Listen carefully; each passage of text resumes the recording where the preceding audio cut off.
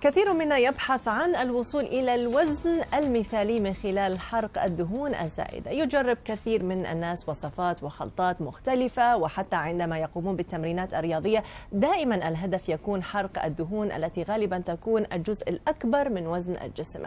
كلام الإنترنت عبر الموضوع كثير وممكن في بعض الأحيان بعيد عن الدقة.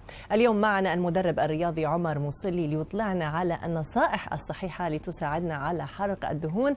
عمر يسعد صباحك صباح الخير كيفك؟ إحنا الحمد لله شلونك انت تمام. هذا الموضوع حساس جدا يجرح الشعور ويمس المشاعر ويحبط من طبعاً. الواحد مشكلة كل العالم آه من الواحد يلعب رياضة ويسوي حمية آه غذائية ومع هذا يشوف جسمه مدى ينقص الدهن منه بالشكل الصحيح كيف ممكن ننقص الدهون وأبرز المناطق بالجسم اللي الدهون بها تكون آه، خلينا نقول متراكمة. مستعصية متراكمة هلا أول شيء بتختلف ال- الأجسام عن بعض بآلية حرق ال- الجسم لل- للدهون. يعني بيختلف الرجل عن المرأة بيختلف العمر بيختلف عن طريق ال- الشخص اللي أكبر بالعمر عن الشخص اللي أقل بالعمر. طيب. بيختلف عن حسب وزن الجسم. إذا الوزن اللي 80 و- وزنه غير اللي وزنه 120 كل هدول العوامل بيختلفوا من شخص لتاني عن آلية الحرق وكمية الحرق اللي بتصير أكبر. طيب.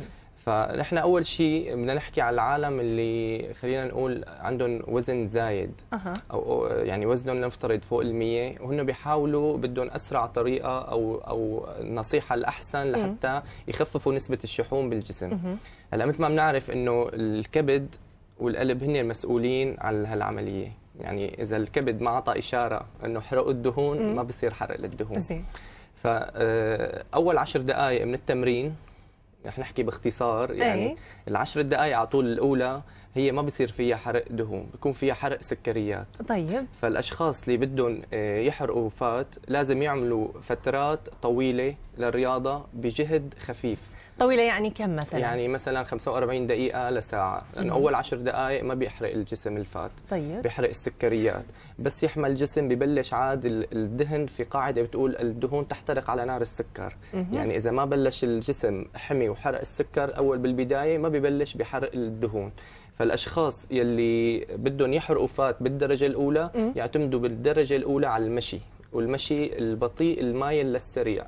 غير الجري وال... وال... والهروره أو السرعه أها. الكبيره يعني الناس تعتقد مثلا إنه أنا العب رياضة نص ساعة أتعب نفسي وأموت إيه، ما لا، نفسي لا، لا. ممكن لا ممكن في عالم بيعتمدوا إنه إذا أنا. ربع ساعة بعمل بيطلع على ال- آلة المشي أو بيركض بخمس دقائق باقصى بيتعب بيتعب بيتعب وبينزل فكر إنه هو طلع عمل جهد كتير عالي وحرق كتير كميات كبيرة صح حتى أنا أتوقع اي كنت فهذا الشيء. غلط إيه. يعني أنت لازم تحطي كمية وقت لنفترض 30 دقيقة إذا انت ماشية جديد أو 45 دقيقة لساعة طيب. بمشي على راحتك بطيء ويفضل المشي بالهواء الطلق وبالصباح الباكر ما يكون على آلة المشي لأنه الأوزان الثقيلة بيصير في ضغط على المفاصل.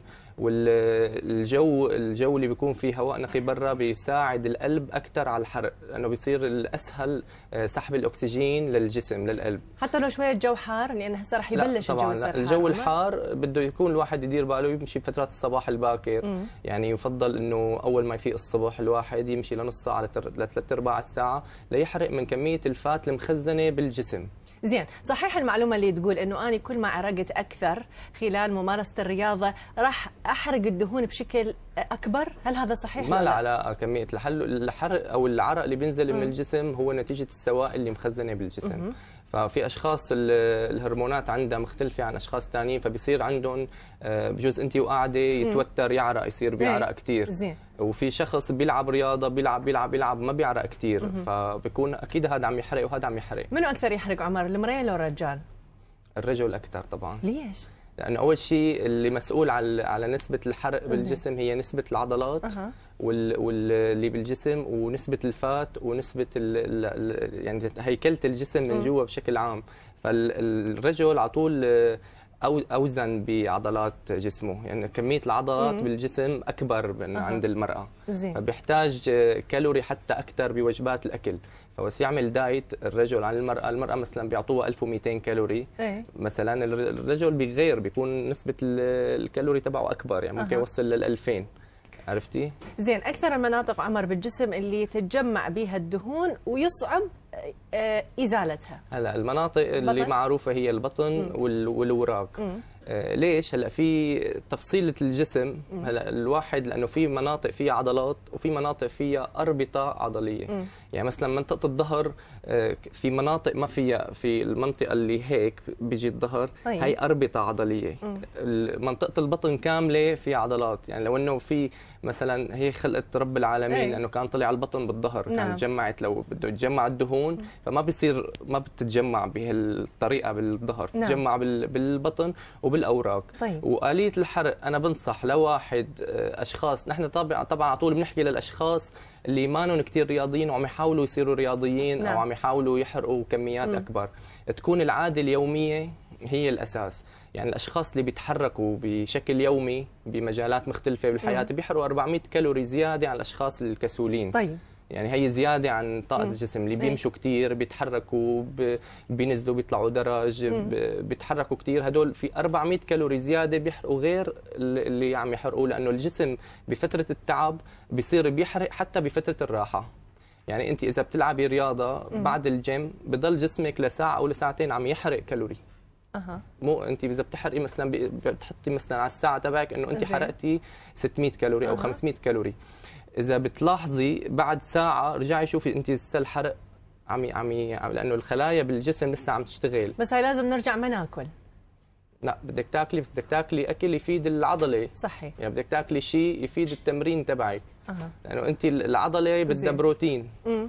فأنت لازم تاخذي بروتين للعضلة بعد إذا بدك تاكلي وجبة بدك تاخذيها فيها بروتين وبدك تشربي مي كثير هسه دا أريد أسألك يا عمر يقولون اتمرن أنت وعرق وقضي وقت بالرياضة ولا تشرب مي لأن مو زين تشرب مي لا ابدا. مو صحيح مو يعني صحيح.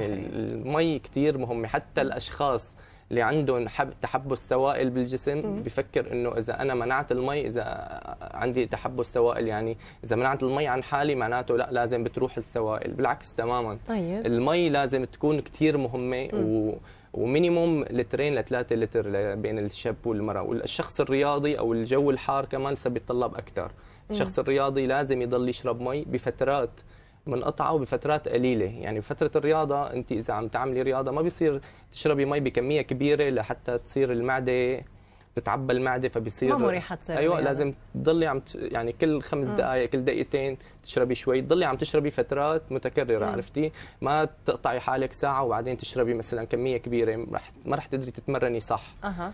هلأ بالنسبة للرياضيين إيه. يعني في أشخاص مثلي أو مثل أي شخص رياضي إيه. بس بحاجة بده ينشف نسبة الفات اللي. بجسمه إيه. نحن شو بنعمل على طول لأنه نسبة الحرق بالجسم هي مثل ما قلنا بالفترة الأخيرة بعد ما يحمل الجسم فبنعمل ال cardio على طول الرياضيين بيعرفوا إنه بنعمل ال cardio بعد التمرين مم. يعني الأشخاص اللي بدهم ينحفوا بيعملوا آه، cardio نفترض مشي ساعة أول عشر دقائق بحرق سكر بعدين ببلش حرق ال fat بالجسم الأشخاص الرياضيين آه، بيعملوا التمرين تبعهم بيحمي بيعمل تمرين الجيم تبعه بعدين بيخلي فترة ال cardio لآخر شيء.